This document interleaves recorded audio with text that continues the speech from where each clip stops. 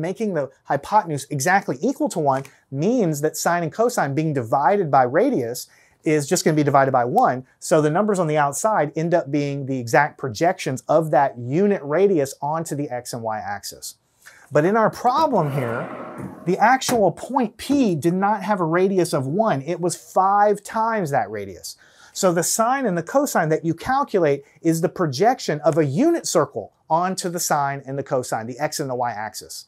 So in our case, our radius is not 1, it's 5 times bigger than that. So another way I've been telling you to think of all these things is the x, the cosine is like the chopping factor for x. If you take a hypotenuse, which is the hypotenuse in my problem, and I multiply by the cosine of the angle, then what I'm doing is I'm chopping that hypotenuse and I'm chopping it to get the x component. The x component here is 3. So when I take this and multiply by the cosine, I actually get 3.